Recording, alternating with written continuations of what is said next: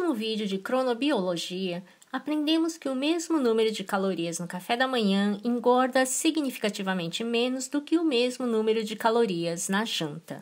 Mas quem come apenas uma refeição por dia? Que tal apenas deslocar a distribuição diária de calorias para mais cedo? Pesquisadores israelenses randomizaram mulheres com excesso de peso e obesas em um dos dois grupos isocalóricos, ou seja, os dois grupos ingeriram a mesma quantidade de calorias. Um grupo tinha um café da manhã de 700 calorias, um almoço de 500 calorias e uma janta de 200 calorias, e o outro grupo tinha o oposto: 200 de café da manhã, 500 de almoço e 700 de janta. Como todas elas estavam comendo a mesma quantidade de calorias no total, o grupo que comia mais de manhã deveria ter perdido a mesma quantidade de peso que o grupo que comia mais à noite, certo? Mas não, as que comiam mais de manhã perderam mais que o dobro do peso, além de diminuir cerca de 5 centímetros a mais da cintura. Ao final de 12 semanas de estudo, o grupo que comia mais de manhã perdeu 5 quilos a mais, 8,5 kg perdidos, comparados com 3,5 kg apesar de comerem o mesmo número de calorias.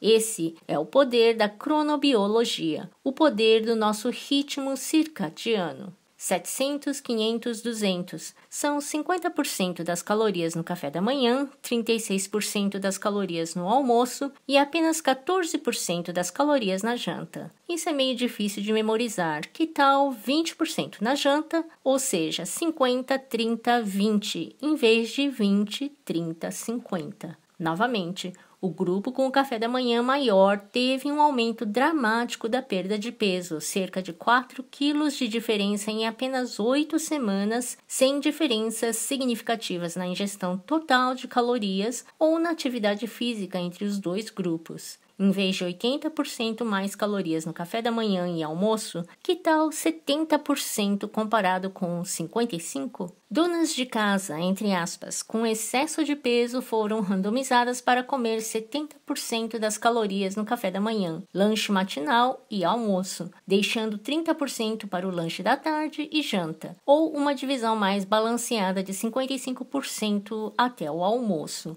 Em ambos os casos, apenas uma minoria das calorias foi consumida na janta. Importa se 55% das calorias é ingerida até a hora do almoço em comparação com 70%? Sim, uma perda de peso e de medidas significativamente maior no padrão alimentar que tendeu ainda mais para amanhã. Histórias sobre alimentos e nutrição estão nos noticiários quase todos os dias, mas a informação às vezes pode ser confusa e contraditória. Mensagens claras deveriam ser propostas para alcançar o maior número de pessoas, concluem os pesquisadores. E um comunicado claro que os médicos deveriam dar é se você quer perder peso, coma mais de manhã do que à noite. Mesmo apenas dizendo para as pessoas comerem a maior refeição no almoço ao invés da janta pode ajudar. Mesmo com o consumo de calorias comparáveis, os participantes no programa de perda de peso randomizados para fazerem a maior refeição no almoço foram melhores do que os que faziam a maior refeição na janta. O provérbio como café da manhã como um rei, almoce como um príncipe e jante como um pobre, evidentemente tem outra variante. Coma o café da manhã sozinho, compartilhe o almoço com um amigo e dê a janta ao seu inimigo. Eu não iria tão longe, mas parece haver um benefício metabólico em comer a maioria das calorias do dia na parte da manhã. No entanto, a evidência não é completamente consistente. Uma revisão de estudos de padrões alimentares questionou o papel de que a redução alimentar de noite facilita a perda de peso, citando este estudo que mostrou que o grupo que comia mais de noite foi melhor que o grupo que comia mais de manhã. Talvez seja porque o grupo da manhã recebia de café da manhã chocolate, biscoitos, bolo, sorvete, mousse de chocolate e rosquinhas. Então a cronobiologia pode ser vencida pela metodologia da comida não saudável. Em geral, o que comemos ainda é mais importante do que quando. Cronometragem calórica pode ser usada para acelerar a perda de peso, mas não substitui uma alimentação saudável. Quando ele diz que houve um tempo para cada propósito sob o céu, o Eclesiastes provavelmente não estava falando sobre rosquinhas.